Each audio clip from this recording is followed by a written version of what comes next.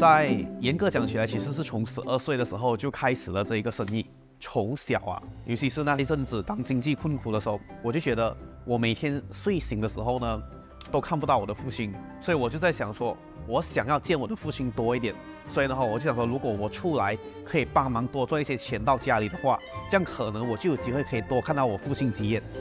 Sorry, a little bit w o r s e That's why I never thought about question.